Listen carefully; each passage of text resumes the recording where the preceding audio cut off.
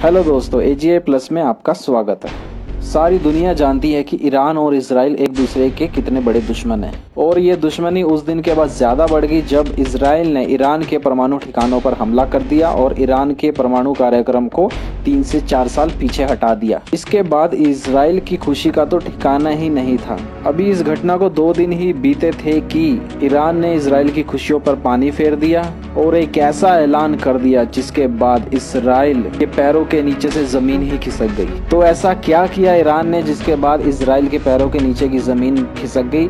तो चलिए आइए शुरू करते हैं। दरअसल हुआ यू के इसराइल के नौसेना के एडमिरल अलिरजा टांगीसिरी ने ये ऐलान किया है कि ईरान ने फारस की खाड़ी और ओमान की खाड़ी के तटों पर भूमिगत मिसाइल सिटी की स्थापना की है। जो इसराइल के दुश्मनों के लिए एक बुरा सपना हो। तो आप लोग तो जानते ही हैं कि ईरान का सबसे बड़ा दुश्मन कौन है? जी हाँ इसराइल तो इशारों ही इशारों में ईरान ने इसराइल को चेता दिया है कि यदि उन्हें हम पर हमला करने की कोशिश करी तो हम इन मिसाइलों का आप पर उपयोग करेंगे। अब ये खबर कितनी सच्ची है, कितनी झूठी है, ये तो ईरान ही बता सकता है, लेकिन इस खबर के आने के बाद इसराइल के तोते उड़ गए हैं। यदि ईरान की ये खबर सच्ची है तो इसराइल का तो अस्तित्व ही खतरे में आ जाएगा। मैं आपको बताता हूँ कि ये एक्चुअली में मिसाइल सिटी होती क्या है? मिसाइल सिटी ये होती है कि जब कोई दुश्मन देश आपके देश पर हमला करता है तो सबसे पहले आपके एयरपोर्ट्स और आपके जो मिसाइल ठिकाने होते हैं, उन पर हमला करता है। तो मिसाइल सिटी में क्या होता है कि missile city underground missile city होती है। उसके अंदर हज़ारों की तादाद में दुश्मनों से बच के मिसाइलों को छुपाया जाता है।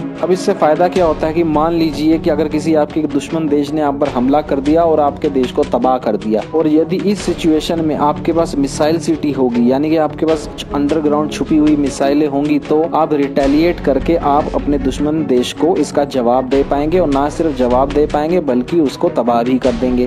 तो ये फ़ायदा होता है मिसाइल सिटी का। अब इसराइल कंफ्यूजन में है कि उसके पास एफ़ थर्टी फाइव तो है, वो चाहे तो पूरे के पूरे ईरान को तबाह कर सकता है, लेकिन अगर ईरान की ये बात सच्ची हुई, उनके पास अंडरग्राउंड मिसाइल सिटी हुई तो इसराइल की खैर नहीं। यदि ईरान ने रिटेलिएट किया और अपनी मिसाइलों से हमला कर दिया तो इसराइल तो एक छोटी सी कंट्री है, उसके लिए बचना बहुत मुश्किल हो जाएगा। और वैसे भी ईरान के परमाणु संयंत्र पर हमले के बाद से दोनों देशों के बीच में टेंशन बनी हुई है। किसी भी समय लड़ाई हो सकती है और अब ईरान के इस ऐलान के बाद तो कुछ भी हो सकता है कि आने वाले दिनों में शायद आपको सुनने को मिलेगी, इन दोनों देशों के बीच में जंग छिड़ गई है। आप क्या सोचते हैं कि इसराइल अब ईरान की मिसाइल सिटी का जवाब किस तरीके से देगा? कमेंट बॉक्स में ज़रूर बताइएगा। के लिए फ़िलहाल इतना ही। धन्यवाद। जय हिंद। जय भारत। भारत माता की जय।